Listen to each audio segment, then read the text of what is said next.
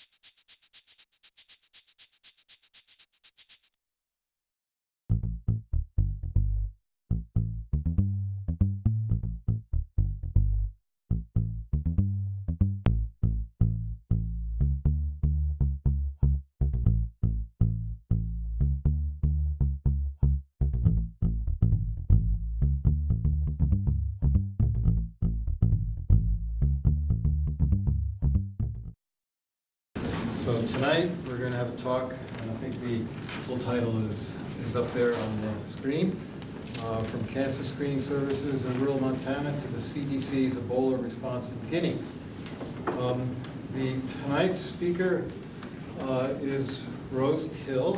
Um, She works with the Montana Screening, Cancer Screening Program and the Montana Tobacco Use Prevention Program at the Flathead City County Health Department in Kalispell.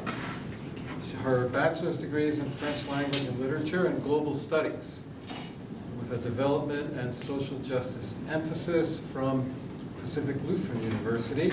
And she has an MPA, Master of Public Health degree uh, from the University of Montana Hugh.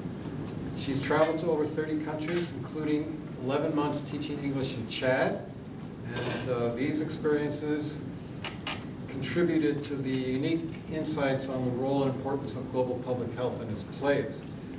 Rose recently, and she's going to talk about this tonight, had the opportunity to join the CDC Ebola response in Guinea for six weeks, and she's here to reflect on that experience.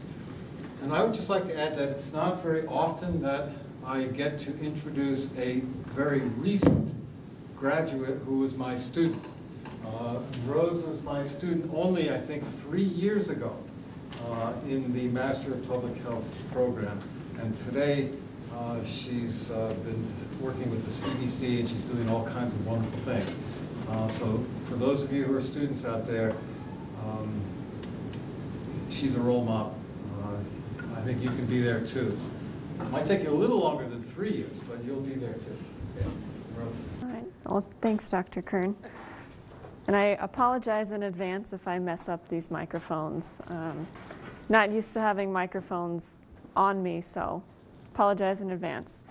Um, So as Dr. Kern said, my presentation is entitled From Cancer Screening Services in Rural Montana to the CDC's Ebola Response in Guinea, a reflection on the interdisciplinary, um, a reflection on interdisciplinary preparation, opportunities, and finding a niche in public health. So that's kind of a long title to have for a presentation. Um, but what I really wanted to get across, especially in this last piece here, um, is that it is a reflection. It is a journey. I'm not that much older than most of you. It wasn't that long ago that I was in school. Um, so I am very much reflecting here and still on this journey to finding what my career in public health, um, in global public health is. So, if I can figure the remote out.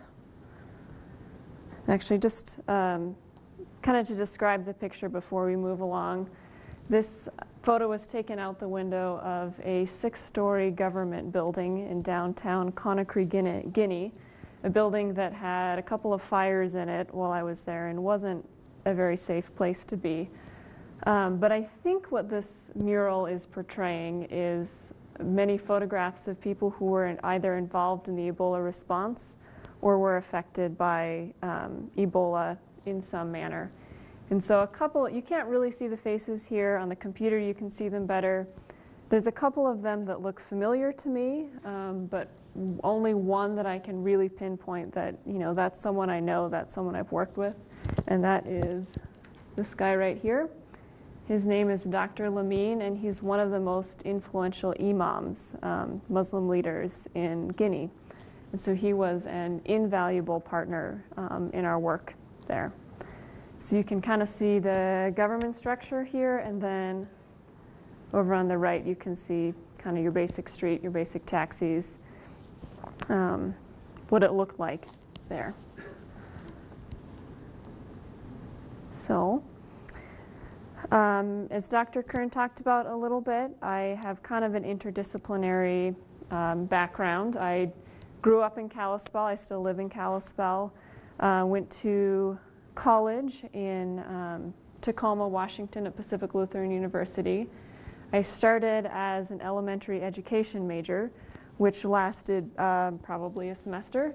Um, I figured that's something that you can get a job with. Um, it's a useful degree.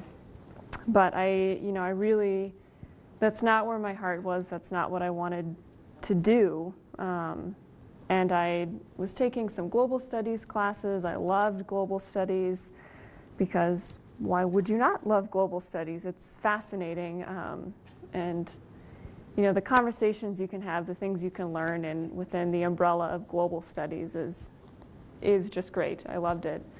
Um, so at PLU, you couldn't be a global studies major unless you had a primary major. Um, and I had taken four years of French in high school, not because I, you know, loved stripes and baguettes and berets and all the kind of French stereotypical things that you think about, um, but because I wanted a tool to go explore other things. Uh, and language, if you can speak another language, if you can access um, another way of communication, it really opens up a lot of doors to you. So that's why I studied French in high school. Um, at PLU, when I was really kind of wanting to switch out of being an elementary education major to global studies, and I needed this primary major, you know, I was already in 300 level French classes as a freshman. Um, so I thought, well, maybe I'll just major in French because that would be easy. I don't have that many more courses to take in French. Um, so I'll be a French major, but really I will be a global studies major. Um, and the way, the way it worked out, they really uh, benefited each other. Um, I spent a January term in Martinique, uh, a piece of France in the Caribbean, um, I spent a semester in France, and those experiences both helped my French language skills, but also exposed me to um, a variety of cultural things, not just what you traditionally think of as French, but also um, you know post-colonial issues in the Caribbean and Martinique. And uh, in France, I was studying with a variety of other international students, so that those blended very well. Um, then after college, I spent a year in Chad, which is a country in Central Africa that, despite being three times the size of California, most people probably don't know it exists. Um, I have a map later, so if you don't know it where it is or that it exists, now you do, and I'll show you where it is. Um, so bef before I had graduated from college, I was interested in public health. Um, had actually applied to a Master's of Public Health program in Colorado, got in, deferred it a year because I wanted to do something besides school. Um, you know, some adventure, some way to give back for a year. So I deferred it in order to go to Chad. Uh, my um, emphasis in global studies uh, in college was uh, development and social justice. And, you know, what better way to implement that, to make that tangible? Um, you know, what is development? What is social justice? Um, a way to do that is through public health. And so while I was in Chad, though I was there as an English teacher, not working in public health, um, I experienced a lot of things that just really did nothing but deepen my belief in um, you know, health as a human right and as you know, sustainable health development as a means to sustainable development in general. Um, so I did that, came back from Chad and forgot about the MPH program in Colorado and started my MPH here at the University of Montana. Um, a lot of the coursework I did, I kind of tailored it to go global directions because that really um, has been one of my main interests in public health is, you know, how do you apply it in the, the developing world? Um, and I think that that's has always interested me because it's so much more clear to see the impact of basic public health um, in the developing world than it is to see here because by and large in the United States we have clean water. Um, by and large we have enough doctors, access to care. We do have issues with that, but not on the same scale as um, a lot of other places in the world. So I was interested in global health uh, because you can really see why public health matters and because I liked the adventures of learning about new people and places and things and going places. Um, so that's kind of a, a bigger um, explanation of my educational background. Um, you know, after my after I finished my MPH, despite the fact that it was a lot of it was very global focused, I ended up getting a job in Kalispell, you know, back in my hometown. Um, so now I work at the Flathead City County Health Department, um, running the Montana Cancer Screening Program for that corner of the state. We serve uh, Flathead, Lake, Lincoln, and Sanders County. So essentially, if you stand at Missoula, one arm north, one ar arm west, that whole corner of the state is our region. Um, we do free breast and cervical screenings for women who don't have insurance or have a high deductible and meet certain income guidelines. Um, and I also, one of the hats that I'm supposed to wear is uh, tobacco prevention, though I end up doing a lot more cancer screening um, than that. So kind of a, you know, not what you would expect someone would do with a French degree is land back in Kalispell and and talk about mammograms and pap smears all day. But that's what I do. Um, all of that to say, uh, what I want you to think about during my presentation is how all of the different interdisciplinary aspects of my education and of my experiences have kind of come together to create the opportunities that I've taken advantage of. And so while you're thinking about that, I also want you to think more deeply about how the different pieces of your educations, whether that's in school or outside of school, and how your experiences can come together to really create kind of unique opportunities um, for you. Kind of think about the, the unique ways that you can give back um, to global public health, to public health, how you uniquely fit into um, into that work. So what can you bring to the table? To explain the picture a little bit, um, this is the uh, kind of the break room, the kitchen in our CDC office in Conakry, Guinea. Um, kind of a, a makeshift professional office. It used to be an apartment, so there'd be people, you know, working wherever they can find space. You can see some laptops back here, you know, once lunch was served, you kind of had to put your work aside for a bit.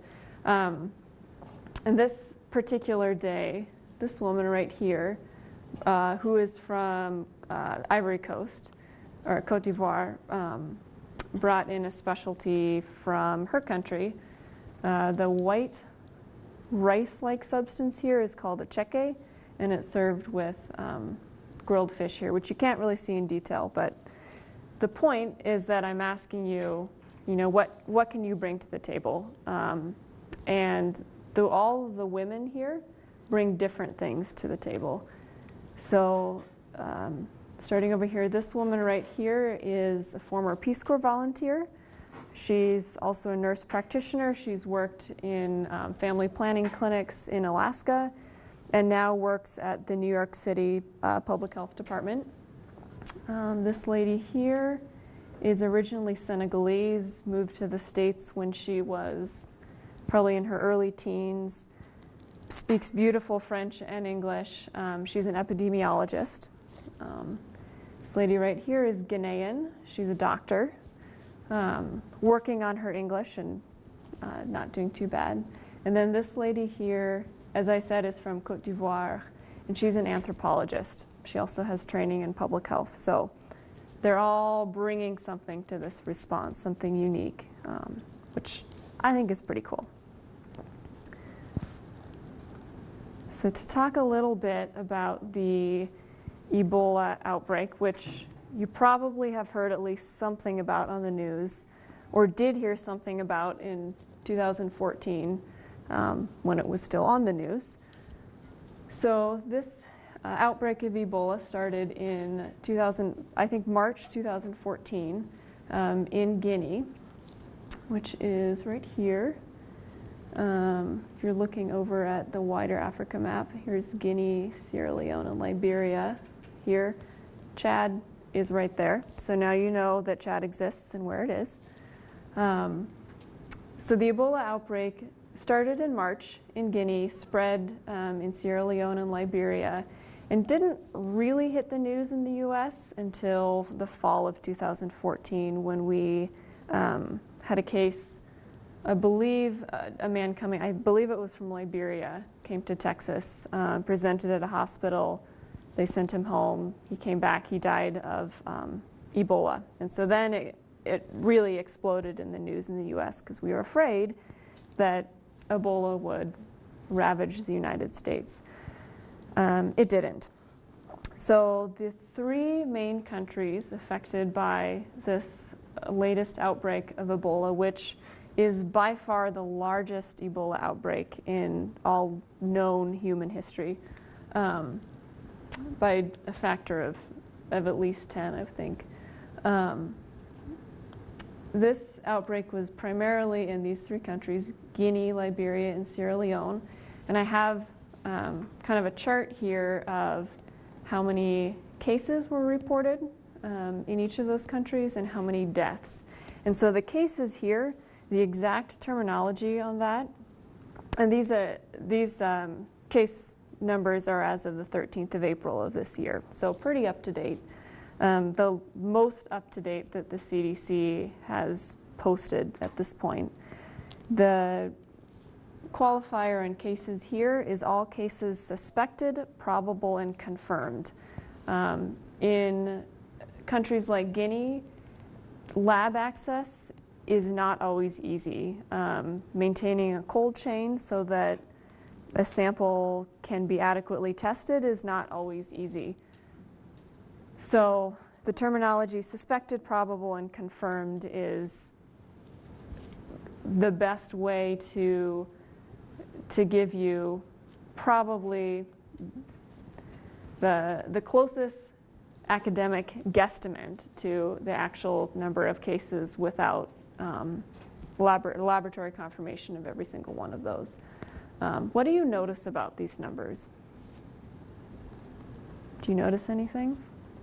High mortality in Guinea. High mortality in Guinea. Exactly. So Guinea had the smallest number of cases, um, but by far the highest mortality rate. So about 67% of the people diagnosed with Ebola in Guinea died of it, um, which in a lot of ways is actually more consistent with um, historical Ebola outbreaks. Um, but the, if you look at the entire outbreak, um, only about 40% of people with Ebola died, which is very, very low. Like that's, that's never been seen before. Um, in previous Ebola outbreaks, um, just about everyone who's diagnosed dies there is not a cure um, for Ebola per se. Um, so in addition to the cases listed here, there were 36 other cases, um, some of which were in kind of surrounding countries here, a couple in Europe, um, and one in the United States, or several in the United States. So there are other cases in Nigeria, Senegal, Spain, United States, Mali, the United Kingdom, and Italy. Of those 36 cases, um, 15 died. So the, the big thing to kind of notice here is that the far more fatalities in Guinea than, than the other countries. But that might have been because the number of cases were not accurately reported in Guinea compared to the other places. Yeah, that, that, that could be true, that cases in Guinea were not as accurately reported as in the other two um, countries. And I, I don't have uh, numbers and, and, graphics on this, but by and large, the, the epidemic spread in Guinea a lot more slowly and consistently than it did um, in the other two countries. In the other two countries, it was much more like explosions, um, whereas in Guinea it kind of simmered and stayed um, throughout, which um, is one of the, the explanations for the lower number of cases um, in Guinea. So it's kind of an overview of the outbreak. Um, when I first heard about CDC being involved um, in Guinea, I was kind of surprised because you think of global health and you don't, you know, you don't think about the CDC, which is the United States government agency for public health, the, you know, the Centers for Disease Control and Prevention. Um, usually you think about the World Health Organization or, or some kind of um, multilateral organization. You don't.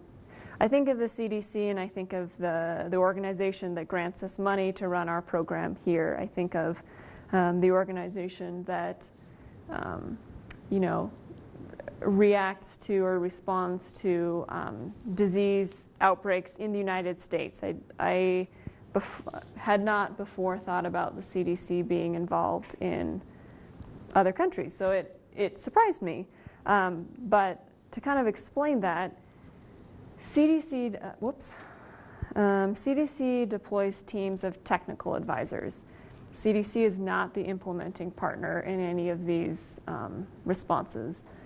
So the, the implementing partner or set of partners um, is generally the national government. So in Guinea, we worked very closely with um, the Guinean government and the health officials that Guinea had set aside for the Ebola response. We worked very closely with them, very closely with the World Health Organization, um, and also with UNICEF. Um, so you can kind of see that here. This is at UNICEF headquarters in Guinea. Um, you can kind of see our CDC logo that's taken from um, riding in one of our land cruisers, which I did quite a lot of. Um, this is the sign on our office um, door. I'd often get questions like, well, what is CDC like? You know, because people, people generally know like what the World Health Organization is. They've seen the UNICEF logo. Um, they've, they've seen a lot of these um, big kind of partners that do a lot of development work, do a lot of response in developing countries. Um, but people didn't always know what CDC was. Um, so I, I think it's important here to say, to mention or to, to emphasize that CDC is technical, does technical assistance, um, most of which is epidemiological, um, because that's kind of the CDC's forte. Um, but CDC is not in charge um, which, you know, sometimes while I was there, I felt that I wish that we could just be in charge because it would be so much easier that way if we just said, you know, this is what we're going to do. Um, but it, it's a good thing, I believe, that CDC is not in charge, that CDC is one of many partners um, there to assist the local government um, in responding to a disease that's affecting their country, but that is also of international um, concern. So CDC during the Ebola epidemic um, had teams in uh, Guinea, Sierra Leone, and uh, Liberia. I think they also had a couple of people in Senegal just to kind of um, secure that border there. Uh, CDC still has teams in the in the three primary countries, though they've gotten a lot smaller um, because the epidemic is winding down. Um, also because a lot of funding has gone to Zika. So you've probably heard about um, Zika virus in a lot of Latin America and the Caribbean. So a lot of funding has gone that direction um, instead of Ebola, which Zika is arguably the, the larger danger right now if you had to compare them. Not that they're really comparable, but if you have to put out a lot of fires, sometimes you have to decide which one needs the most emphasis. So right now that's Zika. Um, so you're probably wondering how I ended up in Guinea because I don't work for CDC. I live in Montana. Um, so when Ebola hit the news in the U.S., or when I first heard about it, which was a little bit before it, you know, exploded here, before we had a case in the U.S., I had just, uh, you know, accepted my job. This is my first like professional job, um, which I was pretty excited about. But I was also kind of bummed because I felt that, you know, if I didn't have a job, I would absolutely want to go help out with the Ebola response because it's an excellent opportunity to put to use French language skills, which I have, um, experience in Francophone Africa. I had been there several times. I'd lived there for almost a year. Um, you know, put to use my brand new public health degree. Like, what could be better than, than going and, and working on Ebola?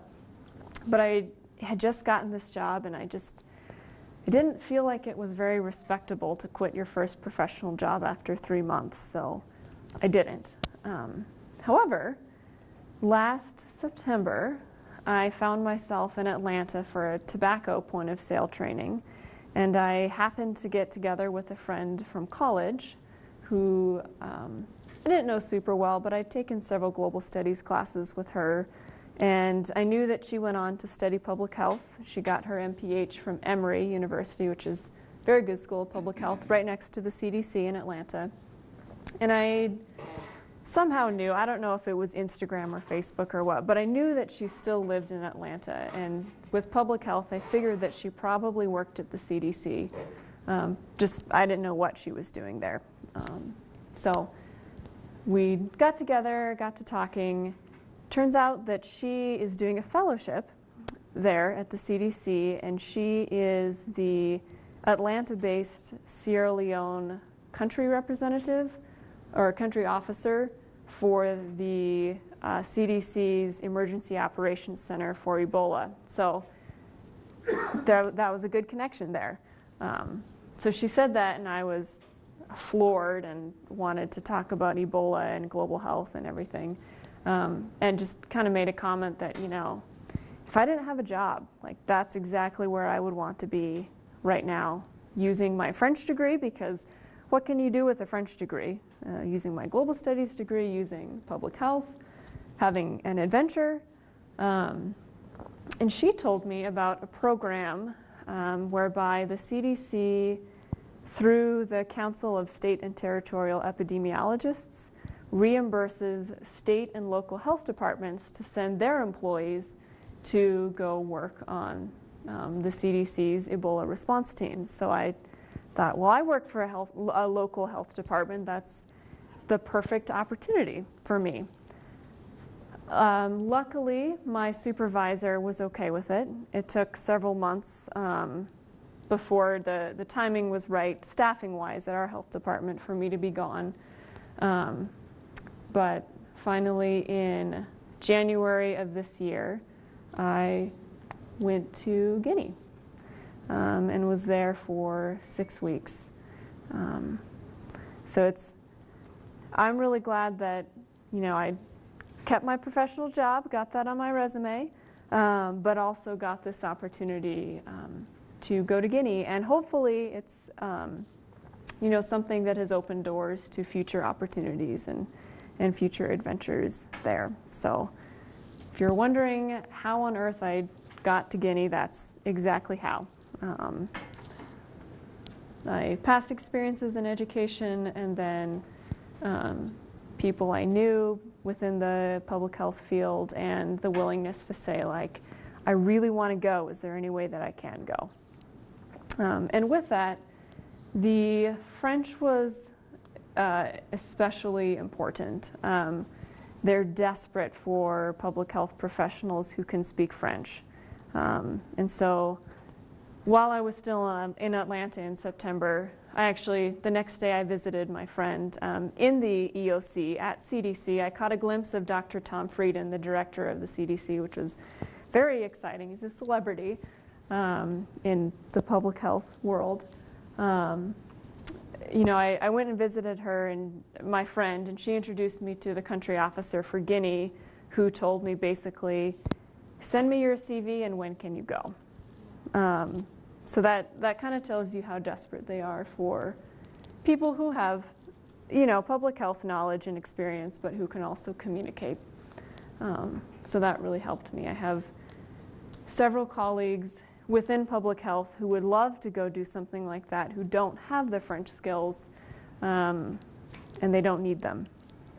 Uh, both Sierra Leone and Liberia are English-speaking countries, so there hasn't been a lot of difficulty finding people to staff those teams. Um, but Guinea, the CDC has had trouble um, from the very beginning. So it was perfect for me, perfect for them, and I went to Guinea in January and was there for six weeks. So when I arrived in Guinea in January, um, the outbreak had been declared over. The, the, World Health Organization declared it over on the 29th of December 2015 um, after 22 21 day periods um, had passed since the last active Ebola case in Guinea. And so after that, they moved into this period of 90 days of enhanced surveillance, um, which the entire time that I was in Guinea was during this uh, 90 days of enhanced surveillance period. Pictures here, this is um, a water tank on the building next door to our office. This is the view from our office window. Um, you have fishing boats here. Um, I should have pointed out exactly where Conakry is in Guinea um, when I was on the map. It's on the coast. It's the capital. It's on the coast on this little peninsula. Um, and so a lot of fishing, a lot of trade. It's a big port. Um, I actually heard that it's a major point, port for smuggling drugs between Europe and um, South America because it's kind of out on the promontory of Africa. So I don't have any details there, but I kind of an interesting tidbit. Um, and then the, for better or for worse, obligatory picture of cute children who wanted their picture taken. So I did let them see it, so I don't feel that bad about taking the picture. Um, so, all right. So I originally, when I was signed up to go to Guinea, I was supposed to go as a field epidemiologist. Uh, when I got there, I was switched to the health communications team, which um, is probably a better fit for me. I, I can do epidemiology, but communications is much more closely related to what I do on a daily basis. Just, you know, different issue, different country, different language, but we can figure that out. So most of what I did um, was developing messages to be approved by the National Communications Cell, which was essentially the organization of all of the different um, NGOs, different governmental partners there to work on Ebola. Um, so we would come up with these messages that we wanted them to approve because you know we're, we're technical advisors, we're not the implementing partner. So once approved by them, they could be sent out to the media. Um, so a lot of what I did was, you know, writing question and answers, um, which, in a way, I, I mean, I don't, I don't write question and answer things very often in my job here, but it is kind of a similarity, similarity to my job here because I do a lot of um, interpreting from technical language into language that um, lay people can understand. So um, a lot of taking what you know the, the scientists and what the doctors and what the researchers were were saying here that the people needed to do and writing it in a way that could be understand understood by people and you know understood by the media who could then disseminate it to the population that um, is mostly illiterate. Um, so a lot of some of the things we did. Um, this you can't really tell from the picture, but it's a flip book. Um, all the logos of the different partners down here. And this flip book, I don't know if you guys know what flip books are. They're essentially a large book. Um, on one side you have a picture, and then on the other side um, kind of has a script for whoever is presenting the flip book to read to explain the picture to the audience. Then you flip the page over, there's another picture, kind of the, the next point they're going to make. Um, same thing. So this is a, a flip book with lots of pictures kind of explaining, you know, what the people in strange suits were doing when they took away your, you know, your family member's body after they had died, after they were really sick. Um, so that's something that we worked on.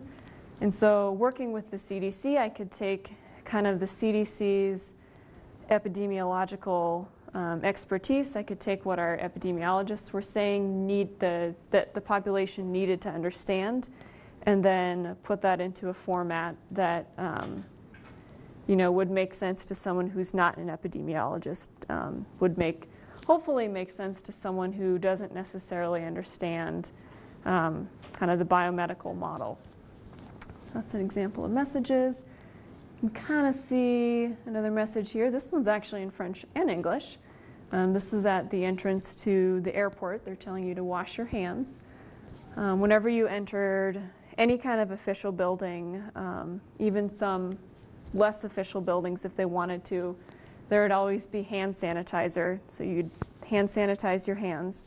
Um, our hotel, you always had to hand sanitize before you could come in.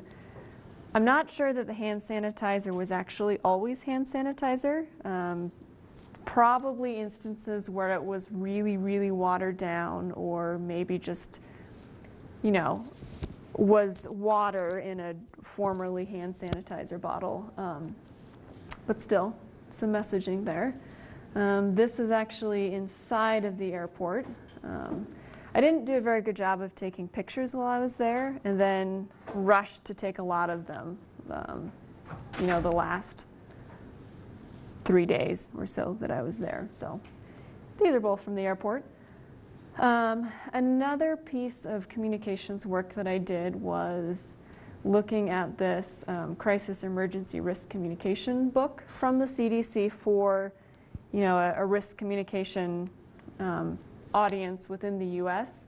Looking at this book and making kind of a, a one-page pointers for risk communication uh, sheet to hand to you know the the national um, people working on communi Ebola communications because as technical advisors, one of our roles is uh, capacity building. So how can I take this, uh, cut it down by quite a bit. That was a very thick book, but so cut it down by quite a bit, um, translate it into French, and you know, help the, my national partners perhaps have some more skills to, to communicate in um, crisis situations. So that's one of the projects that I worked on. Um, before I explain this picture, um, I, I will say that I, I left Guinea on, I think it, it was the 3rd or 4th of March. Um, we hadn't had any cases. We were looking towards getting to, toward, to the end of March, which would have been the end of our 90 days. Um, and then we were free and clear of Ebola. However, on March, I think it was the 16th, um, a new case of Ebola was identified in Guinea. And so that's, that's the date when it was identified and, and noticed by the medical establishment. Doesn't necessarily mean that there weren't earlier cases that we just never knew about. Um, so um, as of now, um, the last Ebola patients from this smaller outbreak um, in Guinea um, have either died or been sent home.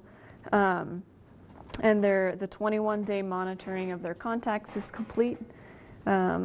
And so the, the end of 42 days since the last um, Ebola case in Guinea will be on March 31st, at which point they'll start an entirely new 90-day period of enhanced surveillance. So when I heard that a new case of Ebola had been found in Guinea, it felt like, at first it felt like a defeat, but like two minutes later it felt like a success because the fact that we identified a case of Ebola in Guinea is a success of the, um, of the disease surveillance system in Guinea. Um, finding or not finding a case doesn't mean that there weren't cases. It means that we didn't find them. So finding this case was a huge success. Um, I believe that it was actually reported by uh, villagers. Huge success because there'd been a lot of reticence um, and not reporting of cases. So massive success of the local system that another case was found. It Means that we recycle through all of these enhanced surveillance periods, um, but it's a good thing. So one of the reasons why with this Ebola outbreak, um, there is a big epidemic and then, you know, the epidemic's declared over and then new cases have been found, which is not similar to any of the other outbreaks in history. One of the reasons for that is because this outbreak, unlike most others, has a lot of survivors. So some of the messaging that we did was around survivors. So you can see here, um, only got a piece of this, but it's essentially, you know, what precautions can you take to avoid getting Ebola from a survivor? Um, so survivors can retain uh, Ebola virus in ocular fluid, in semen, and possibly in breast milk for an unknown amount of time. Um, because this hasn't really happened in past Ebola outbreaks, we don't really know how long it lasts. Um, so there's a lot of research on that. Um, but with that, there's also a lot of stigma surrounding people who have survived Ebola because, you know, we're in the same room. Am I going to get Ebola from you? Um, which, no, um, I wouldn't get Ebola from you. But, you know, there's a lot of fear surrounding that. Um, a lot of trauma during the epidemic um, with, you know, a lot of family members dying, a lot of people dying, um, and so a lot of fear that it could come back. Um, and so a lot of um, stigmatization of survivors. So that was some of our messaging work was to, to explain what a survivor, what it meant to be a survivor, you know, what could give you Ebola, what can't give you Ebola, and how to, um, you know, if you are a survivor, how to protect your family from that. If you're the family of a survivor, how to support your family member who survived Ebola um, and also maintain your own health. So we did that. So some lessons that I learned. Um, I kind of broke this down into three main things. Um, the first thing is to be patient, which is a lesson that I seem to have to learn over and over and over again, and you probably will too, um, and already are learning that over and over again. Um, the National Communications Group wouldn't always meet. Um, we were supposed to meet every Wednesday. Sometimes that would get canceled. Sometimes I'd show up thinking that we had a meeting and would find out that it was canceled. Um, you know, we produced this set of flip books and sent it to the printer to be printed. And they kept saying, oh, it'll be done next week. It'll be done by Thursday, we promise. Um, they weren't finished by the time I left. Um, so that was frustrating, but um, the, the lesson there is to be patient um, and is to, to not be angry and wish that, well, I wish we were in control of this, I wish we were in charge, um, but to really, um, you know, be all about business, but be all about creating the relationships that are sustainable and building capacity. Um, and then with that, also patience with myself in times when I would get frustrated or would feel like, you know, I've studied French for 10 years, but I have absolutely no idea what's going on right now. Um, patience, it's a very good lesson for whatever you do. Um, and then while I was there, I also thought a lot about um, comfort and the meaning of the work that I was doing there, which I won't get into it too much depth. I could talk about that for hours, um, but since we're running up on time, I won't get into that. Um, this is the view from my hotel room that I lived in for six weeks. Four-star hotel. That's the Atlantic Ocean right there. That is a swimming pool. Um, hotel, kind of tiki bar. Really nice place. Um, when I was in Chad, I lived with a host family. We were a middle-class family. Um, we didn't have electricity most of the year. So I had a lot of kind of complicated feelings about being paid to live here, um, paid my regular salary, paid per diem, all kind of expenses covered. And was I really doing that much good? So, like I said, complicated, I could talk about that for a long time, but it's something to think about in global public health. There's certainly a lot of glamour to going off and having these adventures, going places like Guinea, working for the CDC. Um, but I think we also need to not forget um, some of the implications of, of living somewhere like this. Um, so I hope that's something that wherever you go in your careers that you don't forget to think about. Um, it's not a good thing, it's not a bad thing, but it's, it's there and it's important to think about.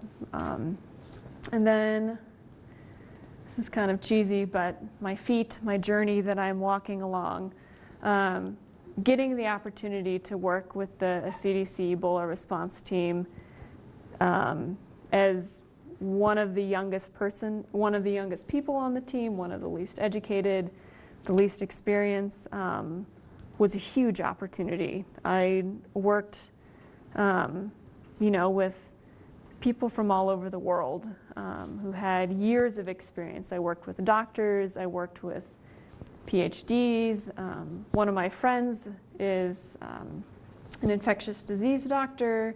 She'd worked with Doctors Without Borders in South Sudan, done all of these things. I worked with the um, medical director of um, chronic disease at the North Carolina State Health Department.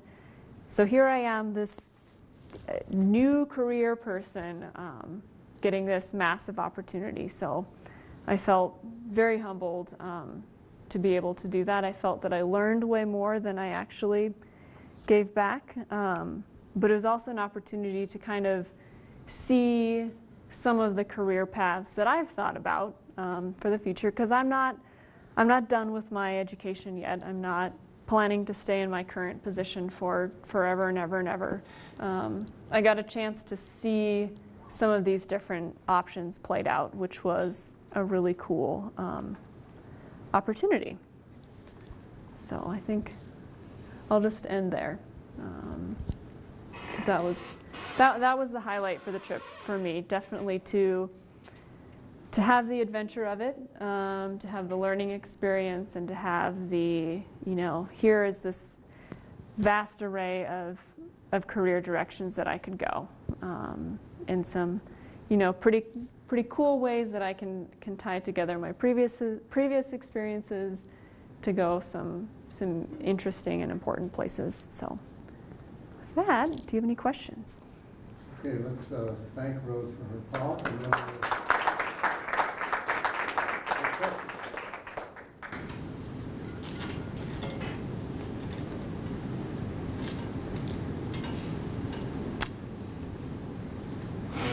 We'll- I had several, um, just was waiting for you guys to go first, but uh, I can break the ice. Um, Tell us some more about the effect of stigma. One of the students in my class is writing a paper, which I haven't, I received today, but I haven't had a chance to, to read yet, about how to, um, how to help with stigma. You know, this, was a big problem, and how is that playing out right now, and what's, what's being effective in, uh, uh, in changing people's attitudes? Or is it still, people still, even a year later, uh, have these kinds of uh, negative feelings about people who are survivors? Sure. Well, to, to answer the last part of that question first, people definitely still have negative feelings about survivors. Um, there are instances of violence towards people who've survived. Um, there are instances where, you know, a, a community doesn't want survivors to come back for fear that, you know, they'll reinfect the community. Um, most of the work that's going on is within Guinea, and I believe within Sierra Leone and Liberia as well, there are national kind of coalitions of survivors or you know networks of survivor groups that um, are really in the beginning beginning stages of organizing themselves. Um, I think that their work, uh, what they see as their work is kind of organizing to support survivors, whatever survivors kind of decide that means. Um, one of the more tangible routes that um, CDC is supporting and that uh, some of the other partners are working on is actually semen testing. Um, since the Ebola virus can live on for uh, over a year, um, between three months and a year, we don't really know yet. Um, part of that is research. You know, how long does it persist? Um, part of it is a service um, so that a male Ebola survivor can go get tested and you know keep getting tested every so often and then once he um, tests multiple times free of Ebola he gets a certificate so that's something that he can take back to his community and say look like I don't have Ebola anymore. I, the virus doesn't live in me. I'm safe. Um, so that's kind of one thing they've done to combat stigmatism or um, is you know testing um, which is a model very much within a biomedical system, but it also, um, you know, giving, giving them a certificate and allowing them to take that back to their community and proudly display that, that they're Ebola free, um, you know, builds kind of self-esteem, builds confidence. Um, other than that, a lot of the survivor services um, are really still getting organized. Um, yeah. You mentioned that capacity building was one of the objectives. Do you have any sense of how that went? Or was it really a drop in all the experts and all the experts leave? It's, it's kind of turning into a drop in all the experts and all the experts leave. Um, even when I was there, the number of responders was cut significantly from what it had been. Um, since I've left, um, the CDC is actually phasing out its health communications part of the team. Um, they actually, I, I went, when I got there, um, I was just a member of the health communications team of three people. Um, and then by the time I left, I had been made the team lead of that team of then two people, which is kind of process of elimination, but it shows you how much the team is kind of being cut down. Um, and especially the fact that when I left, there wasn't a replacement for me.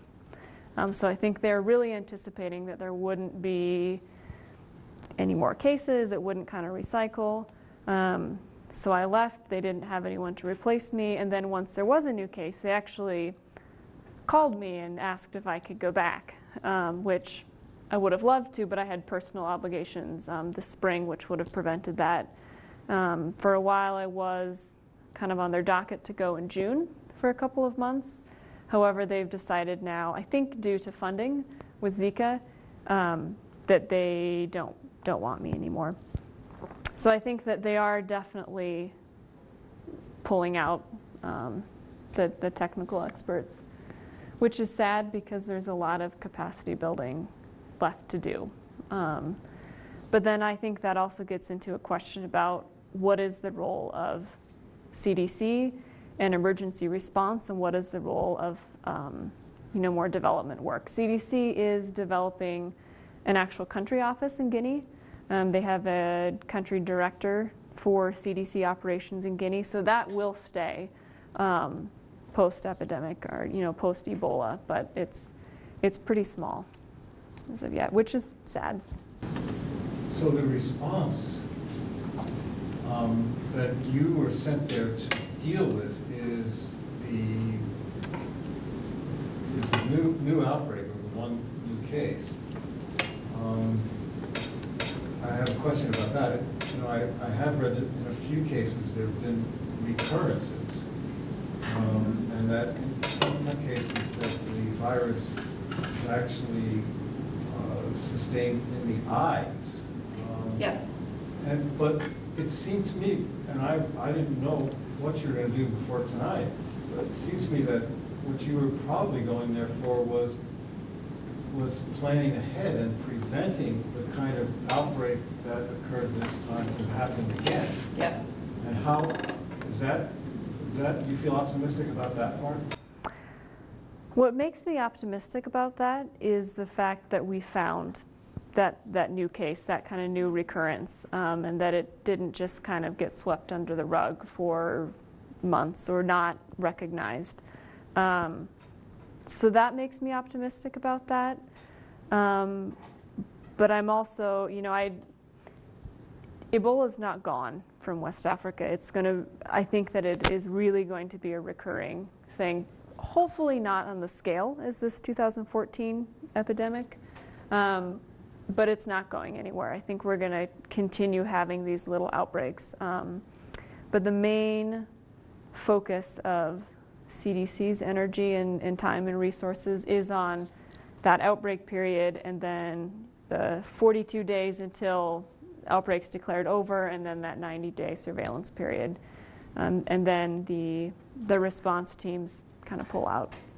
But with the country office being there, I think that the vision is to have more of a presence there. Um, and hopefully as that grows, um, more of an epidemiological, technical support presence, but also more of a uh, health communications. Um, health communications with CDC kind of is the first piece to get cut, um,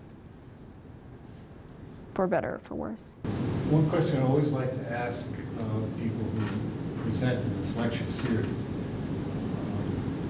Chris, I'm sure I asked you this question too, um, is uh, what lessons did you take back that you can use here in your job in Kalispell?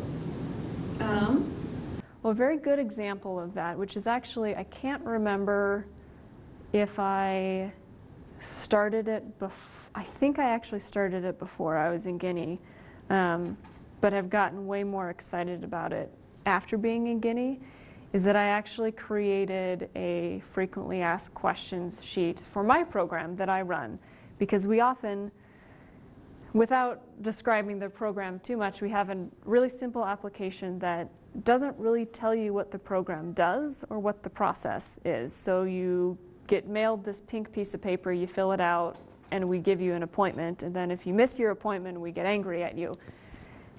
It's not, it's not very understandable. It's not very accessible. And I don't think that makes for a positive experience for um, you know, the people who take advantage of our program. Um, you know, the, the layperson, if you will, the person on the street. And so the I created this frequently asked question thing, not unlike the messages I was creating in Guinea, but you know, different context, um, to kind of explain what the program did, like why we covered certain things, why we didn't cover other things, um, you know, what, what to expect and what the process was, um, so that it's not us, kind of the health establishment versus consumers. Um, it's let's work together and let's understand each other for better health outcomes for everyone. So that is something that I had started, but definitely got more excited about it, um, saw more connections there after I was in Guinea. How about a flip book? Any use for a flip book?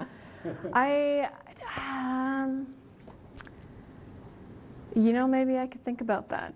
I think maybe in schools, that would be something that uh, Yeah. might work. Um, Yeah. Elementary school. Yeah. With, with the program that I work with now, that, that would be sticky because it's probably less so in Missoula. This, this isn't as much of an issue, but um, in Kalispell, in Libby, in some of the, the more conservative towns up in our corner, breast and cervical are not words that you talk about um, in school. So that's, that's the issue I can see there. But I would love it if we could do that. Um, so, which that also, some of the flipbook images with Ebola were deemed um, inappropriate um, in Guinea as well. There were communities that, you know, said this is too, um, this is too graphic. We don't want this, especially stuff around um, survivors and how to prevent transmission. May I ask you a question? Yeah, for me, a big problem is the sustainable response. I come from developing country, and uh, a lot of international programs like CDC, UNICEF, UN program are coming in my country and working to have to bring people experts. But the most problem is that after finish fundraising and their job, af- what can do in that place? Because Ebola is still there. Yeah. And it is very necessary that the capacity building of their place, not like the expert come and do their job and after three months they go. Yeah.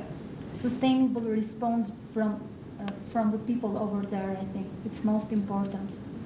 And I, I agree with you. That um, is a large part of my kind of uncomfortableness about the work that, that I did with CDC. Um, because, No, it is great, but it is only for the crisis period. And after that, you have a lot of work to do because the problem are still there. yeah, Don't disappear because the international are gone. exactly. This is the most critical part.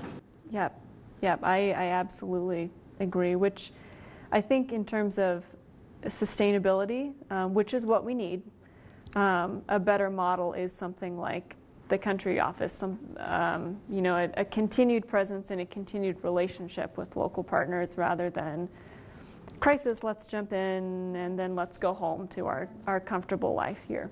Um, so I, I struggle with that personally. Well, you know, I think, um, I wasn't here last week when Nancy Fitch gave her talk, but I, I always look at Nancy Fitch as a, as a role model in the sense that the work that she's done, and especially done in Africa, is to try to strengthen and build the capacity of local clinics to serve the health needs of their communities. And those health needs uh, are variable uh, content, so it might be malaria, it might be uh, HIV AIDS, in this case it might be Ebola. But if you have a really strong infrastructure in terms of the health, uh, basic health clinics that provide basic health care, then I think you're in a much better position to head off these kinds of crisis situations.